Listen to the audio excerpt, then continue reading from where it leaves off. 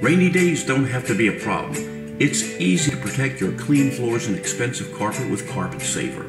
Lightweight, absorbent, and attractive, it protects high traffic areas from day to day wear and tear. It rolls out in seconds for quick jobs.